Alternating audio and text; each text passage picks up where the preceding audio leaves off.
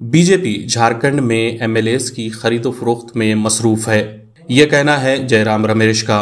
कांग्रेस ने इल्ज़ाम लगाया है कि बीजेपी झारखंड में एमएलएस की हॉर्स ट्रेडिंग में मसरूफ है। कांग्रेस के जनरल सेक्रेटरी और राज्यसभा एमपी जय राम रमेश का कहना है कि झारखंड में वज़ीर आला की हल ब्रदरी में ताखिर हुई, जबकि बिहार में ऐसा नहीं हुआ। झारखंड के बाद ईडी की कार्रवाई, हेमंत सोरेन ने बुध की शाम वज़ीर अला के अहदे से इस्तीफा दे दिया था। इसके बाद चंपाई सोरेन ने भी कानून साज पार्टी के नए लीडर के तौर पर हुकूमत बनाने का दावा पेश किया था, लेकिन गवर्नर ने जुमेरात की शाम इन्हें हुकूमत बनाने की दावत नहीं दी थी।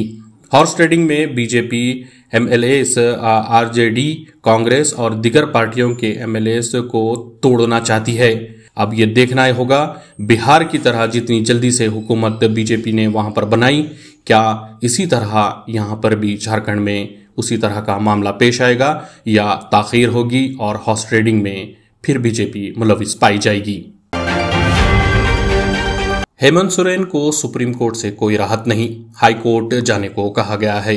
सुप्रीम कोर्ट ने झारखंड के सबक वज़ीर अला हेमंत सोरेन की इस अर्जी पर समाप्त करने से इनकार कर दिया है, जिसमें इन्होंने ईडी के ज़रिए अपनी गिरफ्तारी को चैलेंज किया था। सुप्रीम कोर्ट ने इन्हें झारखंड हाई कोर्ट से रुजू करने को कहा है।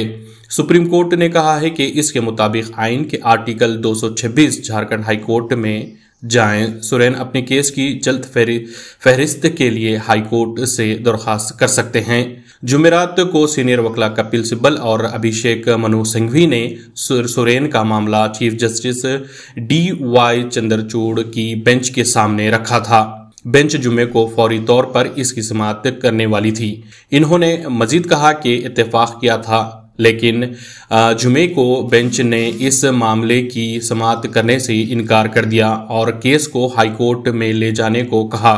हेमंत सोरेन को ईडी ने मुबिना ज़मीन घोटाले में पूछगुछ के बाद गिरफ़्तार कर लिया था। हेमंत सोरेन ने ईडी की तहकीकात के बाद ही इस्तीफा दे दिया था।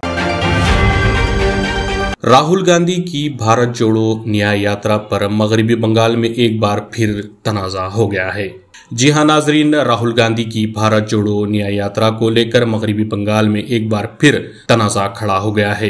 राहुल की यात्रा आज मुशीराबाद पहुँच रही है, लेकिन कांग्रेस ने कहा है कि मुशीराबाद इंतजामिया इस यात्रा को रोकने के लिए कह रहे हैं। मुशीराबाद एएसपी माजिद खान ने बताया कि सानवी इम्तहान आज से शुरू हो रहा है। यात्रा की वजह से तलबा को परेशानी का सामना करना पड़ सकता है। मजीद इन्होंने कहा कि हमने इन्हें बताया है कि हम रैली और माइक के इस्तेमाल की इजाज़त नहीं देंगे। लेकिन कांग्रेस लीडर अधीर रंजन चौधरी का कहना है कि रियासती हुकूमत ने कहा है कि इम्तहान देने वालों को सुबह साढ़े आठ बजे इम्तिहानी मरकज पहुँचना है, जबकि इम्तिहान सुबह दस बजे से दोपहर एक बजे तक होगा। इन्होंने कहा कि हमने तो ड्रम इस्तेमाल करते हैं और ना ही माइक्स। ये बहुत पुरअमन सफ़र है। हम ये सफ़र वक्त पर शुरू करेंगे। अब देखना यह है, इंतज़ामिया और कांग्रेस में कहीं इस मामले में टक्कर तो नहीं होगी।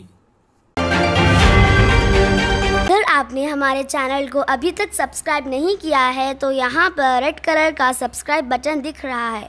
उसे क्लिक करें और हमारे चैनल को सब्सक्राइब कीजिए।